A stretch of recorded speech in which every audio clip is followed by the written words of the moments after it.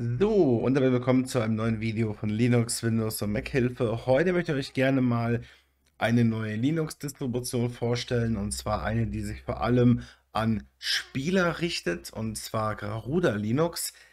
Doch wieso genau diese Distribution so einen kleinen Haken hat, dazu komme ich im Verlauf des Videos. Und zwar wird, wird in diesem Video die Installation gezeigt und auch das Grundlagenvideo. Deswegen wird es ein bisschen länger als sonst. Ihr könnt mir wie immer in die Kommentare schreiben, wie ihr es findet, was ich verbessern könnte. Haut es bitte rein. Und zwar basiert Garuda Linux auf Arch, ist also auch eine Rolling Release Distribution und basiert oder hat als Dateisystem standardmäßig BTRFS mit dem man nämlich Schnappschüsse machen kann vom System. Per Bordmitteln. Beziehungsweise Timeshift. Ja, so sieht's aus. Ähm, relativ bunt. Wenn wir jetzt hier mal auf die Homepage zusammengehen und uns das Ganze anschauen, Garuda Linux, die Distribution kommt aus Indien, also das ist eine indische Distribution. Und natürlich, wir entwickeln weltweit Leute auch dran, aber der Ursprung ist aus Indien. So, als Desktop haben wir natürlich sehr, sehr viele Varianten. Wenn ich hier nämlich ein bisschen runter scrolle, wir haben hier wahnsinnig viele verschiedene Sachen. Wenn ich nämlich auf Downloads klicke, dann sehen wir hier 4 GB RAM mindestens. 30 GB Festplattenplatz braucht euer System. Und natürlich ist es nur für 64-Bit geeignet. Wenn ich jetzt hier ein bisschen weiter runter scrolle, dann erklärt er uns das, Install oder das Installationsprozedere. Vor allem, wenn wir UEFI oder nicht UEFI haben. Und natürlich hier die Live-Session mit User und Passwort. Jetzt haben wir hier natürlich verschiedene Desktop-Umgebungen. Wir haben natürlich zum einen klar das klassische KDE, dann natürlich GNOME, dann natürlich Cinnamon, wir haben XFCE, wir haben Mate, wir haben LXQT, was wir testen. Wir haben Wayfire. Das wollte ich eigentlich ursprünglich testen, aber leider Gottes hat es mir nie die Maus angezeigt. Das ist irgendwie ein Bug. Mir hat es die, den, den Mauszeiger nicht angezeigt und unter VirtualBox zum Beispiel wollte es gar nicht erst starten. Also war nicht wirklich toll. Wenn ich jetzt hier ein bisschen weiter runter scroll, wir haben noch Sway. Dann den hier noch, also ihr seht hier eine ganze Menge Desktops, KDE Lite natürlich und natürlich hier noch KDE Git. Also ihr seht eine ganze, ganze Menge. Dann würde ich sagen, schauen wir uns doch einfach mal an, wie sieht das Ganze in der virtuellen Maschine aus. So, da werden wir jetzt schon. Dann tun wir erstmal unsere Sprache auswählen, natürlich Deutsch.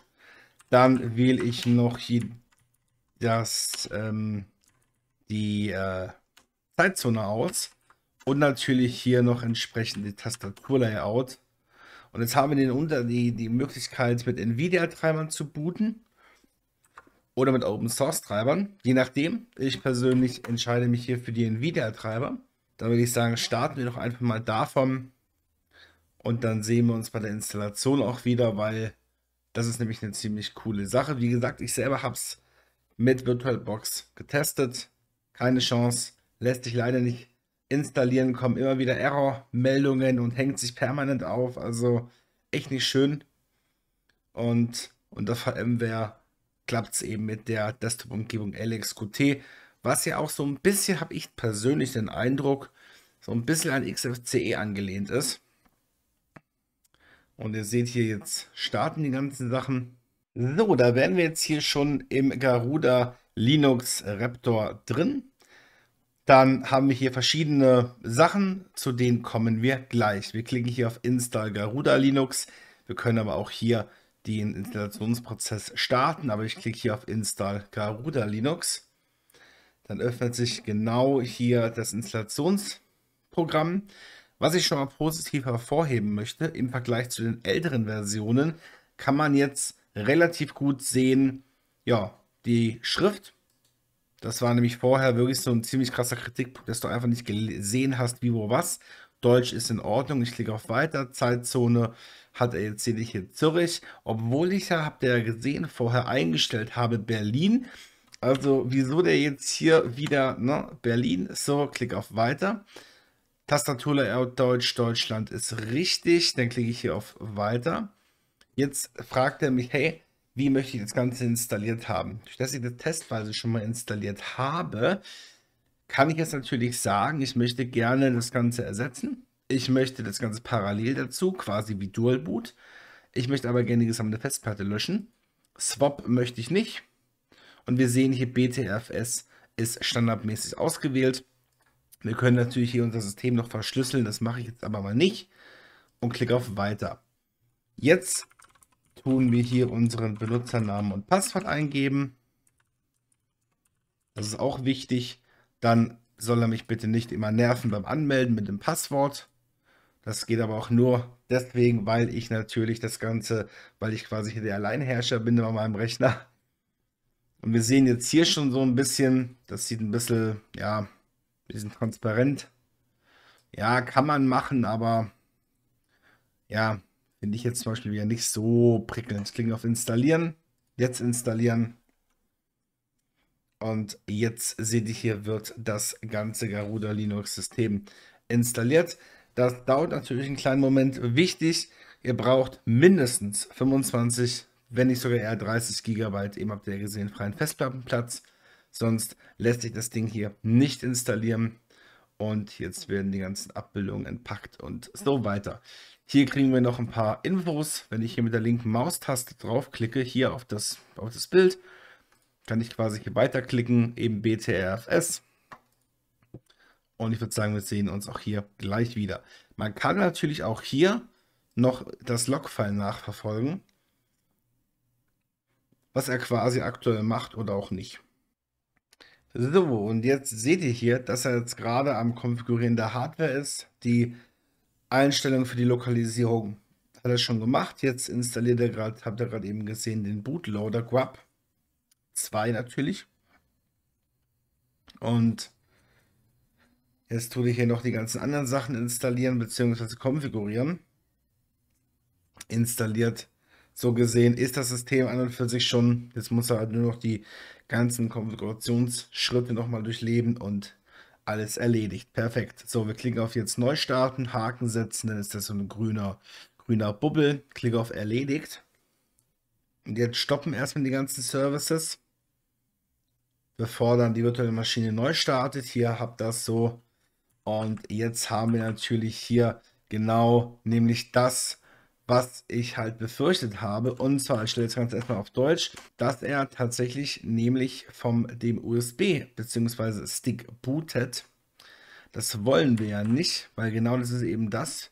Jetzt bootet er nämlich von der ISO-Datei. Ne? So, jetzt muss ich tatsächlich das System nochmal komplett löschen und neu installieren, weil der mir jetzt irgendwie den Desktop nicht aufgebaut hat und die 20 GB oder 30 GB, die er für die Installation braucht, benötigt und so weiter, die waren auf einmal auch weg. Komisch, aber ja, könnte man schon fast sagen, wieder ein weiterer Minuspunkt, aber ich tue es ja in der virtuellen Maschine installieren. Da verzeihe ich ihm das jetzt noch, da kann das sicherlich schon mal vorkommen. Wir klicken hier oben auf Garuda Linux und starten dann von dem System was wir eben installiert haben. Bin gespannt, ob es diesmal klappt. Mal gucken. Ihr könnt mir mal in die Kommentare schreiben, hattet ihr schon solche Erlebnisse oder noch nicht? Das hier ist jetzt die, Anima die ja, Willkommens-Screen-Animation. Wir haben zwar ein LXQT-Desktop, aber das Ding ist so zusammengewürfelt mit verschiedenen Sachen. Ihr werdet ja gleich sehen, was ich meine. Und jetzt startet hier, seht ihr, KDE Plasma. Obwohl wir ja, wie ich ja schon gesagt habe, eingangs den KDE bzw. LXQT Desktop haben. Wieso der jetzt hier mit KDE Plasma kommt, ist mir ehrlich gesagt ein Rätsel, bin ich ganz ehrlich. Ihr könnt mir aber gerne mal dazu eure Gedanken, Meinungen und so weiter, wie immer, in die Kommentare schnuppeln. Und was soll ich sagen? Es ist genau das passiert, was ich dachte. Wir, wir, wir bekommen jetzt quasi ein ähm, ja, Willkommen-Screen. Willkommen du Garuda Linux. Ich klicke auf OK. Dann gebe ich hier mal mein sudo-Passwort ein. Wie ihr quasi sehen könnt, seht ihr nichts. Richtig. Das ist mal um es mal wortwörtlich zu sagen, ein richtiger Schuss in den Ofen. Also das finde ich jetzt so ein bisschen leicht schwierig. Jetzt bin ich mal gespannt, ob er vielleicht mit einem Update hier, was er hier noch einspielt, initialisiert. Seht ihr hier, will er doch noch ein paar Sachen updaten. Bin ich mal gespannt, weil normalerweise seht ihr hier, also irgendwas fehlt hier. Ne? Also normalerweise müsste hier wirklich jetzt der Desktop kommen. Ich habe zwar hier unten die Icons, so wenn ich hier draufklicke, dann öffnen sie auch die entsprechenden Sachen. Aber das kann es ja irgendwo nicht sein, dass ich dass das jetzt quasi so eine Watsche ist, dass es einfach nicht klappen will, weil eigentlich wollte ich euch jetzt wirklich die Distro mal richtig vorstellen, aber das wird, glaube ich, das erste Mal in meiner, in meiner YouTuber-Laufbahn-Geschichte sein, dass ich hier quasi das Ganze abbrechen muss. Theoretisch, klar, könnte ich noch eine andere Desktop-Umgebung benutzen, aber ich wechsle doch jetzt nicht schon wieder eine andere. Nur weil die Entwickler jetzt einfach nicht auf die Kette kriegen. Vor allem frage ich mich, wer testet das bei denen? Also frage ich mich jetzt wirklich, bin ich, bin ich, bin ich ganz ehrlich zu euch, wer testet bei denen das? Oder haben die überhaupt Tester? Ich weiß es nicht. Mir kommt es nämlich nicht so vor, weil das ist wirklich für mich richtig, richtig, ähm, ja, unfertig. Bin gespannt, ob bei euch das funktioniert. Kann auch an meiner Hardware liegen, wobei auch das bezweifle ich sehr stark, weil ich habe einen Intel Core i7 8700K, das ist jetzt nicht das schlechteste, auch in der heutigen Zeit würde ich mal behaupten, das ist nicht der allerschlechteste äh, CPU. Aber wenn ich wirklich dazu mehrfach, bös gesagt, gezwungen werde, verschiedene Desktop-Varianten auszuprobieren, bis das funktioniert, ähm, ne, also da muss ich sagen, halte ich von der Distribution ehrlich gesagt großmöglichen Abstand. Weil ich finde, das hat ja auch so ein bisschen was mit Testen zu tun und das ist für mich so das perfekte Paradebeispiel dafür, dass die irgendwie ihre internen Testpro Testprozesse und so weiter irgendwie nicht richtig, keine Ahnung, weiß ich nicht. Ihr könnt mir mal in die Kommentare schreiben, ob ihr das schon mal erlebt habt in der Linux-Distribution, aber so macht es definitiv nicht Spaß, weil prinzipiell muss ich sagen, wäre es schon eine richtig coole Distribution. Warum? Weil du halt, ähm, weil du halt verschiedene grafische Tools hast, mit denen du Sachen installieren kannst. Und genau da kommt eben auch so ein bisschen das Problem. Du hast da ein Tool, da ein Tool, da ein Tool, da ein Tool und irgendwie alles zusammen und da noch in diesen Quietsch, Quietschfarben und das ist eigentlich eine Heidenkatastrophe, wenn man es so sehen will. Wie gesagt, jetzt tut er hier noch äh, upgraden. Ich glaube zwar nicht, dass sich nach dem Neustart sich irgendwas ändert. Man kann es probieren. Jetzt hat er ja hoffentlich bald alles geupdatet, installiert, gemacht, getan. Da bin ich doch mal gespannt, wenn er jetzt alles geupdatet hat, ob es funktioniert oder nicht. Haut zwar in die Kommentare, was ihr so davon haltet, was ihr so davon denkt. So, jetzt hat er alles quasi installiert. Press Enter. Schaut er noch nach Nvidia-Treibern und wie wir sehen können, haben wir jetzt hier eine ganze Liste von Sachen, die wir installieren können. Ja, kann man machen, muss man aber nicht. Das ist eben Wahnsinn, was wir quasi alles hinzufügen können oder auch nicht. Ich schließe das Ganze jetzt mal. Ich mache jetzt hier provisorisch mal einen Neustart. Ja. Vielleicht klappt es ja dann, wer weiß. Ich habe immer noch, wenn ich ehrlich sein soll, Hoffnung, dass es jetzt mit dem Neustart funktioniert hat, weil das ist auch so etwas. Bei der alten, also bei, bei, bei der bei, bei der anderen Desktop-Umgebung, wo ich euch ja zeigen wollte, da hat alles funktioniert, bis auf, dass die Maus nicht angezeigt wurde. Und hier haben wir jetzt das Problem, dass er irgendwie, ja, dass, dass, dass diese Version irgendwie buggy ist. Und wie schon mal gesagt, ich werde jetzt keine weiteren Videos dazu mehr machen, bis sie es gefixt haben. Wenn sie es mal gefixt haben, vielleicht sehen sie es. Glaube ich zwar nicht, aber wer weiß. Ich persönlich finde es halt richtig, richtig schade, weil es einfach für mich eine Distro ist, wo natürlich Schwächen hat, natürlich, aber auch Sachen hat, wo ich sage, die Ansätze finde ich gar nicht mal so übel. Ne, wie jetzt eben habt ihr gesehen, dass man hier im Menü Sachen einstellen kann, etc, etc, etc. Oder wenn ich jetzt hier dieses, äh, dieses Garuda Gaming habe, selige Games oder hier Steam, wo ich installieren kann oder eben Wine direkt in einer Oberfläche.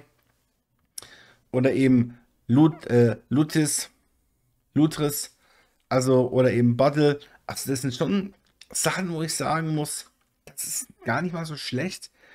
Nur, was nützt mir das alles, wenn das System an und für sich, wie ihr hier sehen könnt, nicht funktioniert. Es ist einfach nur zum Schreien. Schade drum, ich hätte es gern getestet für euch, aber so, wie gesagt, definitiv nicht. Mal gucken, vielleicht wird es in einem halben Jahr besser. Ich werde es im Dezember nochmal probieren. Dann bin ich mal gespannt, ob die das behoben haben. Ich verabschiede mich von euch mit diesem Video. Jetzt euch gern gezeigt, alles noch mehr, aber in dem Fall geht leider nicht. Und ihr könnt mir immer in die Kommentare schreiben, was ihr noch so für Sachen sehen wollt. Ich sag trotzdem danke fürs Zuschauen, bis zum nächsten Mal und tschüss.